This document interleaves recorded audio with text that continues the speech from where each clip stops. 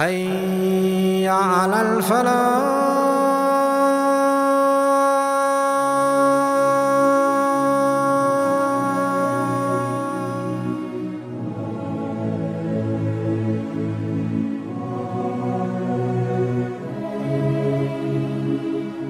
I nourished you when you were a baby. And I looked after you in care as you grew up until you became an adolescent. You lived upon what I worked for and strived and sacrificed in my body and time and wealth so that you may live healthy. Whenever a night passed you, when you were sick or ill or coughed, I was the first to be up, carrying you and looking upon you with my heart, afraid if an atom or a little breeze would harm you in any way. I could not sleep while seeing you sick until you slept and then I slept. Who has the most right for my ultimate companionship and goodness? Your mother, your mother, your mother, and then your father. If you behave rudely, harshly, incorrectly towards your parents, stubborn, arrogant, rude, foul mouthed towards them, don't be surprised tomorrow that when your kids grow up and they behave exactly like that towards you, then that time you're going to sit and reflect, you know, damn hell, that's exactly the same way I used to speak to my father. I don't even need to stand here and tell you from Quran and Sunnah. Because the fact is, they're your parents, regardless of what Allah has said, regardless of what Rasulullah said, you must love them. There is no excuse. Why should somebody have to tell you that Allah has commanded you to love your parents? What, are you so stupid that you can't even see that these people are to be respected? You only came to dunya because of these people. And what, have you forgotten? The times when you were young and you were children, every time that they picked you up when you cried, every time they fed you when you were hungry, every time when you would excrete, that do we have to remind you that Allah said something about this? That you and I don't have enough common sense to remember that these people should be loved. And some brothers and sisters can't even make dua for their parents. We have that luxury, dear brothers and sisters. Hold on to your parents for as long as you can because one day you will be burying them and on that day you will regret. My parents are not Muslim. My wife is in the audience and she.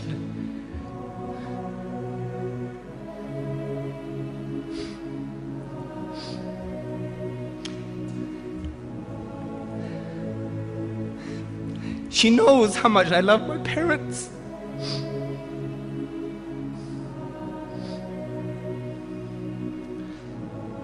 Parents love me.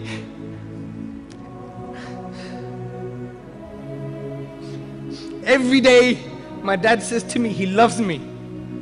Many of us don't even have this as Muslims.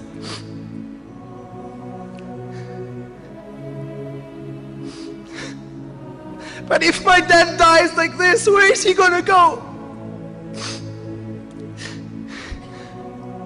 You could pray for your parents. I can't pray for my dad when he dies. This is the reality, brothers and sisters.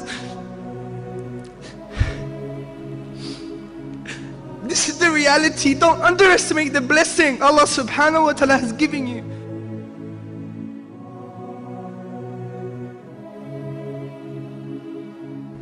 Don't make it too late, brothers and sisters. Don't make it too late.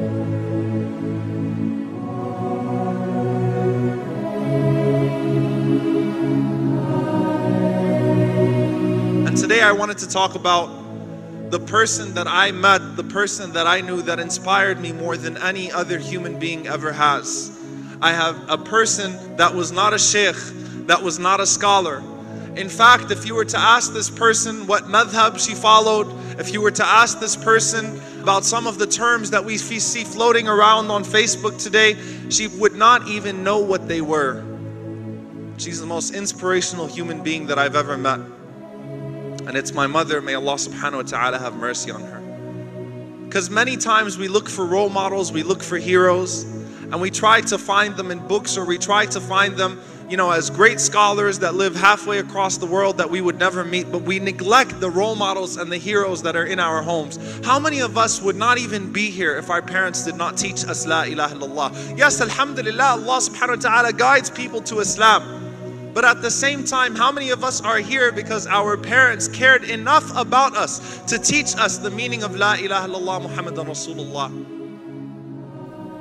And that's what we want to focus upon tonight is that kindness that needs to return back to one's parents that many of us have forgotten. There's one business thriving at the moment, and that's the old age pensioners' homes.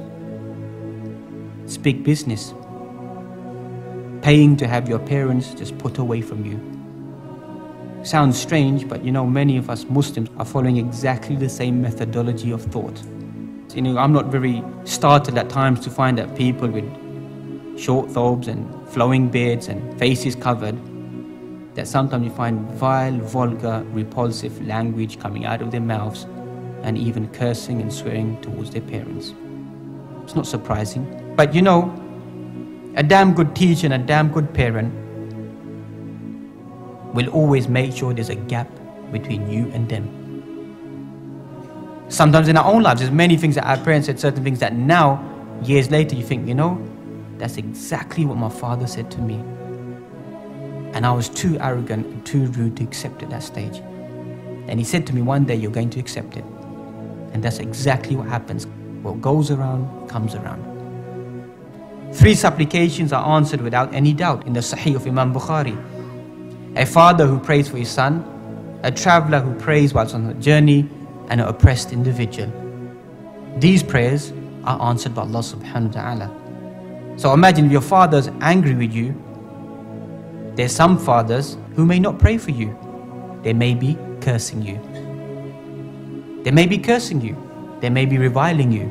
And that dua unfortunately may be traveling back up to Allah subhanahu wa ta'ala.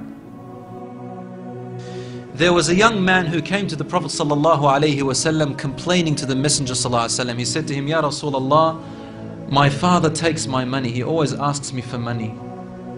Rasul said, Well, call your father. He went to call his father. Jibril alayhi salam came to the Prophet in that time. And he said to him, Rasulullah, when the father comes to you, ask him, what were you saying in secret on your way here? Father was muttering something which his son couldn't hear. He said, ask him what he was saying. When the father approached the Rasul asked him, is it true what your son is saying? The father said, Ya Rasulullah, if he only knew what I'm using his money for anyway. I'm using it to look after his poor auntie. She is left without anybody. Where else am I putting it? Only in places where I have to. Using it towards his family. The Prophet said, look, I want to ask you a question. Tell me about what you were saying in secret when you were coming towards me here. The father looked at the Prophet ﷺ and said, I made some verses of poetry. Rasul said, Please say them to me. And he said, O oh son, I nourished you when you were a baby. And I looked after you in care as you grew up until you became an adolescent. You lived upon what I worked for and strived and sacrificed in my body and time and wealth so that you may live healthy. Whenever a night passed you, when you were sick or ill or coughed, I was the first to be up, carrying you and looking upon you with my heart, afraid if an atom or a little breeze would harm you in any way. I could not sleep while seeing you sick until you slept and then I slept. He said, when I ceased to see you sick, it was as if I was the one who was sick and ill, and so my eyes would always overwhelm with tears, but you never knew. And then he said, and when you finally reached the adulthood, which all my life I was anticipating and looking forward to seeing you become that. I mean, this is all he's doing, right? He's raising him, waiting for the day he's going to get married, the day when he will get his qualifications and finish, the day when he will get his skill, the day when he can stand on his feet, the day when he will rejoice, until you reach the day when I have all my life anticipated in my heart to see you reach and rejoice. You gave me a reward, and your reward was harshness. And frowniness. And mistreatment, as if I am the one who owes you and you owe me nothing. The way you treated me is like what a neighbor would treat his neighbor. I wish that you even gave me that. Al-Rasul he looked up at the father and the father looked at him and the Prophet's beard was soaked with tears. From his emotion, Al-Rasul grabbed the boy from his chest. He shook him and said to him, You and everything you own belongs to your father. This uh, hadith is narrated in Ibn Majah. Today we see children taking their own parents to court because they took their house or their property. Allahu Akbar. وقضى ربك ألا تعبدوا إلا إياه وبالوالدين إحسانا إما يبلغن عندك الكبر أحدهما أو كلاهما That if one of them or both of them reaches very old age with you فلا تقل لهما أف Then don't utter the sound, don't say the word uff to them. Don't utter that sound of displeasure towards them. Don't say anything bad or abrupt or offensive towards them. It's a sound. It's not like even a proper word. It's a sound.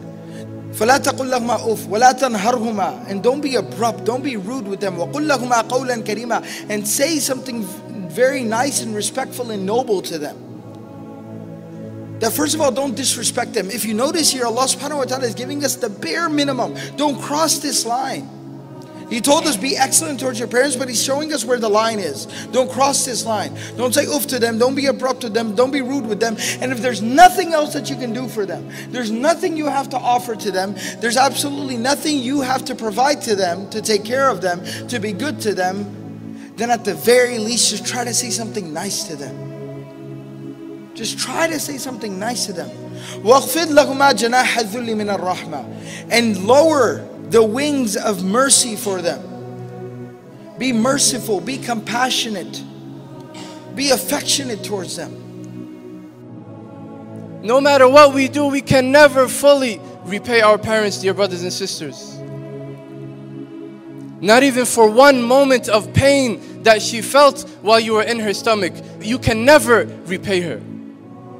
Allah subhanahu wa ta'ala reminds us to make dua for our parents. رَبِّ ارْحَمْهُمَا كما ربياني صغيرا Oh Allah have mercy on them the same way they had mercy on me when I was little Again Allah subhanahu wa ta'ala in this very verse is proving to us that we can't repay our parents because we're asking Allah subhanahu wa ta'ala to have mercy on our parents the way they had mercy on us now, oh Allah, allow me to have mercy on my parents the way they had mercy on me. But only you, oh Allah, can have mercy on my parents. Only you, Allah, can show them, treat them the way they, they deserve to be treated. Because there is nothing I can do but make dua. So, how do we talk to our parents? No, but we have this arrogance. How much have you and I served those very parents? Ask yourself, how many times that phone will ring and you'll see it clearly. It says dad or mum on it. And you just put it on silent and put it back in your pocket like you didn't even see it. How many times have you felt embarrassed to walk with them? Because you know somebody on the other side that's going to look at you and think, oh my God, is that your dad? Or, oh my God, is that your mom? I ask you, how many times have you not carried the shopping bags but walked behind your dad or your mom with a bop and let them carry that bag? How many times when you came home late at night or when you were listening to your parents and they told you clearly that son, don't do this. Or oh my beloved daughter, don't do this. Did you go behind their back and do it? How many times did you have an altercation with your parents and they told you off and you shrugged your shoulders and you walked off and you slammed the door thinking you were something big forgetting that you were transgressing in the sight of Allah. How many times have we done this and how many times will we continue to do it forgetting that Allah has commanded that it is haram for you and I to do such a thing. And I ask you, how many times in your life have you disrespected your mother? And you know what? People give me excuses. You know what? She oppresses us. Or she doesn't understand. Or she doesn't know. When did you ever become such a brain box? And when did you become so intelligent that you knew more than your parents? By Allah, these people have lived 20 or 30 more years than you. And you're telling me you're 10 or 15 or 20 and you know more? You're a child in a nappy no matter how old you are. Because you're the love of your parents. And how dare we do such? I ask you, is it worth it? Wallahi, have a dream. Have a dream that you want to achieve. But make sure that you do the khidmah of your parents. Make sure that you serve your parents. By only serving them, you'll be able to attain that dream. I swear by Allah, that is the only way you'll be able to attain it. There is no other way. The Prophet of Allah wasallam lost his mother when he was six years old. 50 years later, 50 plus years later, the Prophet Prophet's mother died on the journey from Medina to Mecca at a place called Al Abwa. When the Prophet ﷺ was traveling from Medina back to Mecca, everybody that was traveling with him, the whole caravan, the whole army, he said, Stop here. And a few people that were close with the Prophet, they went with him. And he went and he sat down at a grave. And he sat down there for a little while. After a while, he started to cry he started to sob. He cried so severely that literally he was sobbing. So body was shaking. The Sahaba that were there, you know, when you see somebody that you love in pain, it causes you pain. They didn't even understand. They didn't know what this was about. But some of the other Sahaba started to cry by see the Prophet crying so badly. Umar radiallahu anhu finally went and he hugged the Prophet from behind. He grabbed him. And he said, It's okay, it's okay. He consoled the Prophet until the Prophet was able to contain himself. And then they asked, What makes you cry like this, O Messenger of Allah? And he said, This is the grave of my mother. And coming here and visiting here reminds me of my mother. And I miss my mom, and that's why I cry. He was six years old. How much time had he spent with his mother? 50 years later. He's a grandfather at this point. He's the messenger of Allah at this point. But he misses his mom and he cries for his mother. And so that's the importance. So before you complain about your parents, before you, you know, are ungrateful about your parents, realize what a blessing parents are. And go and ask someone who doesn't have their parents what they would trade to be able to spend another moment with their parents. Why is this emphasis so much about parents? You know, I'll tell you why. Because Allah created the parents with an instinctive nature. They can't help it to love their children. They will put their lives at stake for their children. They will sacrifice everything they have for their children. Even when they're angry at their children and they ground them or punish them, it is only because of their intense love for them because they don't want them to fall. Especially the mother especially the mother, especially the mother, and then the father. The mother and the father will give everything they have for their children. Your mother carried you for nine whole months and you kept getting bigger and bigger. It didn't get easier, right? The bigger you became, the heavier you became, and the more back pains and uh, kidney pains, and then it comes with side effects cholesterol and diabetes, and the body changes, and then she's never the same as before. It's all your fault. And we forget this. Yet even upon that, Allah gave her the strength. Now to go back to that surah number 17 that we were talking about, that famous ayah about not even saying oof to your parents.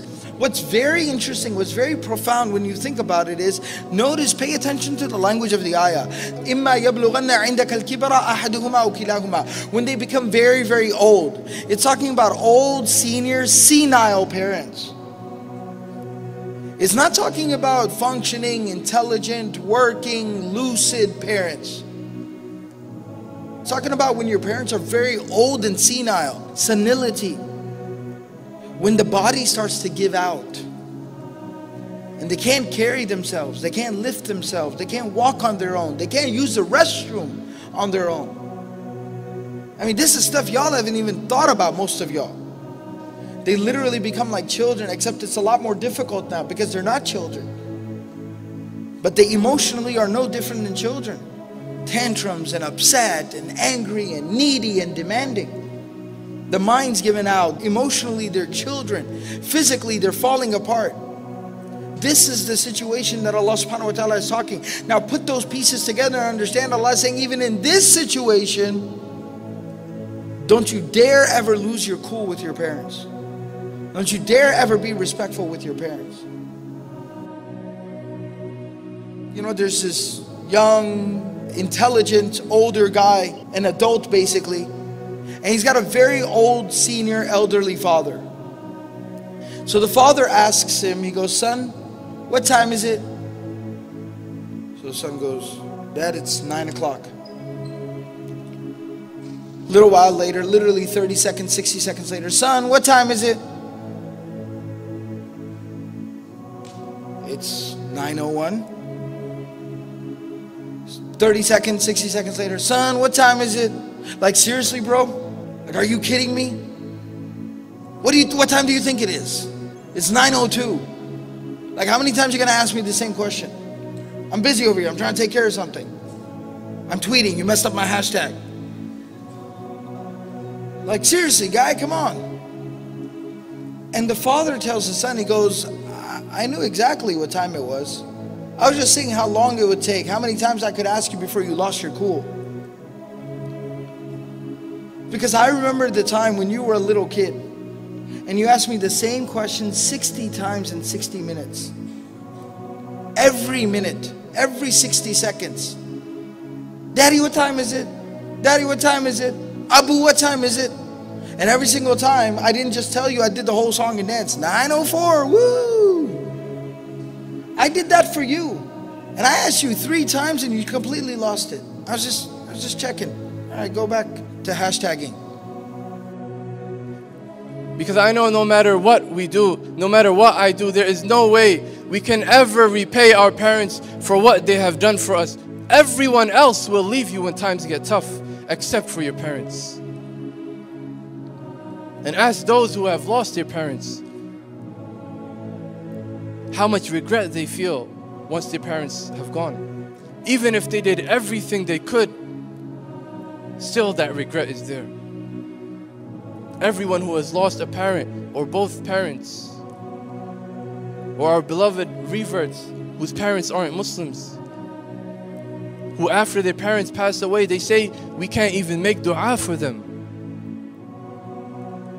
How about them? We will all have to bury our parents, or they will all they will have to bury us. One of the two will definitely happen. But don't wait till it's too late. We have no idea when we will lose our parents. We have no idea when Allah subhanahu wa ta'ala will take them from us. There's no two minute warning that tells us your parents are ready to go, so now take advantage. So now start obeying them. Ask our dear brothers and sisters. Ask the ones who have reverted to Islam. My brother is sitting right here who converted to Islam at the age of 16 and his parents, they drove him out of the house. His regret is my parents aren't Muslims themselves. And he continues to make dua for them. And he continues to talk to them in the best of manners. Think about these brothers and sisters. And some brothers and sisters can't even make dua for their parents. We have that luxury, dear brothers and sisters. Hold on to your parents for as long as you can because one day you will be burying them and on that day you will regret. My brothers and sisters, I ended with this. The hadith of the Prophet ﷺ, which is in Bukhari. Your parents are your heaven or they are your hell. By the obedience and dutifulness to your parents, you are obeying and being dutiful to Allah. And through them is your Jannah or Jahannam. Wal'iyadhu billah. I hope that this lesson was a wake up call for all of us. Go, my brothers and sisters, tonight and renew your covenant with Allah. Secondly, renew it with your parents. Go down and kiss their feet. Kiss their feet, literally. And say to them, Mum and Dad, forgive me for any time where I was careless towards you. I want paradise, and you are my door towards it. And repent to Allah subhanahu wa ta'ala. May Allah subhanahu wa ta'ala make you among the successful. اللهم اغفر لنا ذنوبنا اللهم اجعل أبوينا سببا لدخولنا الجنة I ask Allah subhanahu wa ta'ala to forgive our sins and to make our parents one of the causes of us entering paradise. I ask Allah subhanahu wa ta'ala to make us good parents and to give us an offspring who are righteous and comforting to our eyes. I ask Allah subhanahu wa ta'ala to unite this ummah and to return us back to the glory which we once have. هذا وصلى الله على نبينا محمد وعلى آله وصحبه أجمعين والحمد لله رب العالمين جزاكم الله خير والسلام عليكم ورحمة الله